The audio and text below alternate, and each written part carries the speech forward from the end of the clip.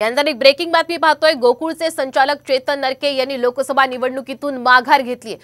नरके यांनी मवियाकडून निवडणूक लढण्यास इच्छुक होते, मात्र महाविकास आघाडीकडून शाहू छत्रपती महाराज यांना उमेदवारी मिळाल्यामुळे चेतन नरके यांनी अपक्ष लढण्याची तयारी दर्शवली होती.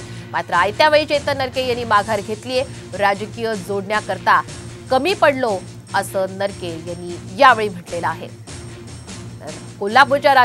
ही मोठी अपडेट सध्या हाती येते गोकुळचे संचालक चेतन नरके यांनी लोकसभा निवडणुकीतून आता माघार घेतलेली आहे. कारण गोकुळ नरके हे मवियाकडून निवडणूक लढवण्यास इच्छुक होते. मात्र मवियाकडून आता शाहू छत्रपती यांना उमेदवारी देण्यात आली. त्यामुळे चेतन नरके यांनी अपक्ष लढण्याची तयारीही दर्शवली होती. मात्र आता त्यांनी आता माघार घेतल्याचं पाहायला मिळत आहे